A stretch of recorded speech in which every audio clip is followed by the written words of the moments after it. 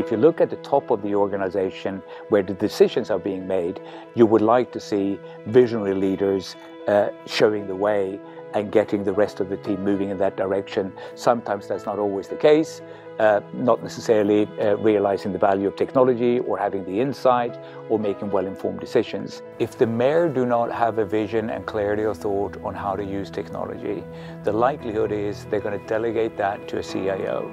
And a CIO is going to work with a limited budget and they're probably going to represent more of the past use of technology than having an aspiration of what they're going to do with technology going forwards. Young dynamic mayors that understand the value of technology turn it into one of their perhaps most offensive weapon to be able to deliver value to its citizen, its community. And as they do, they get closer connected to the community. Citizens get better services delivered. Leaders in, in the city hall gets respected because of the incremental value and the opportunities they're presenting to its citizens.